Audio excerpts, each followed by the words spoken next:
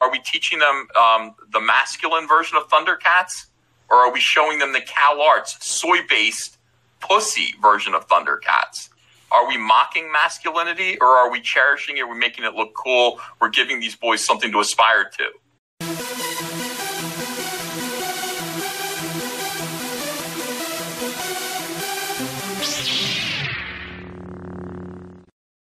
Here's here's the other thing to remember about pop culture. Okay, uh, now the people who um, uh, who like Star Wars an awful lot, who it means a lot to, the people who like Dungeons and Dragons, the people who like video games and comic books, these are smart people.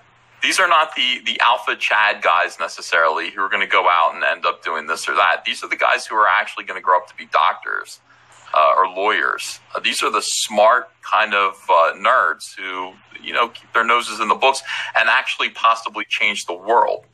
So the the culture that they're taking in is vital. This is a battleground.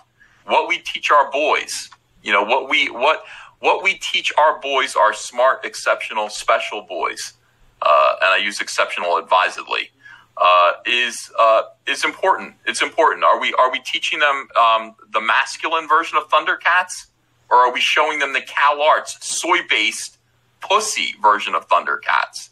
Are we mocking masculinity, or are we cherishing it? We're making it look cool. We're giving these boys something to aspire to. Is it GI Joe? Are we showing them GI Joe anymore? No, they don't know what GI Joe is. GI Joe GI Joe was the was the uh, toy line, the cartoon that inspired my friend your boy Zach to enlist in the military and go serve overseas.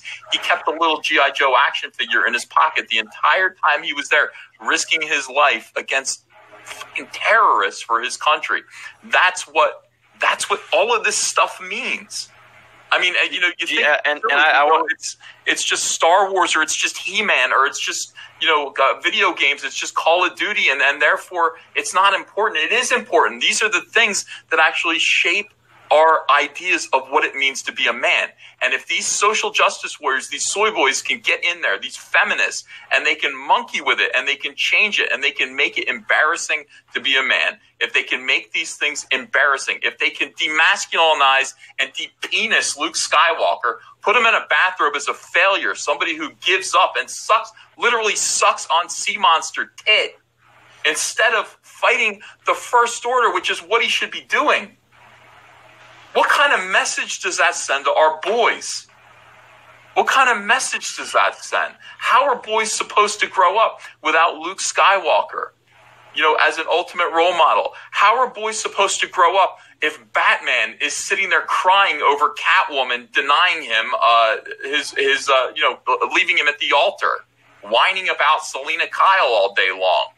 Boys don't have the role models that they used to have because the most incredibly depressed, mentally ill weirdos have taken complete control of our pop culture and they're ruining it. And we talk about it every day as the fundamentals. We talk about it on our channels, but we don't get right to the heart of it. That's what it is. You want to pump out more soy boys that look look like Wil Wheaton? This is the inevitable result of all of this. This is where we're going. This is why we fight so hard. YouTube.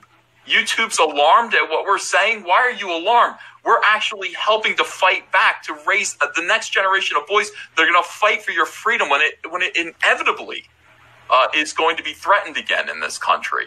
These boys need heroes. They need masculine role models. They need heroes, people who don't sit around and cry and mope and whine, people who put themselves last, who put uh, heroism, their country first. It's so important.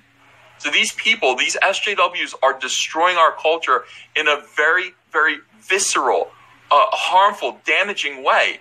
And it's up to us. I know it seems silly to cry about Captain Marvel or Star Wars or The Last Jedi over and over again. Jeremy, you're like, I'm tired of it. I'm tired of talking about Last Jedi. You can't stop because somebody hasn't heard this message yet. It's the same old truth to the same old idiots until they change what they're doing, until they wake up and realize that they're destroying people. They're taking away our balls in a very literal way. Our boys are growing up to be pussies because they don't know any better. Because Anita Sarkeesian. They're afraid of offending Anita Sarkeesian. They're afraid of offending Gail Simone.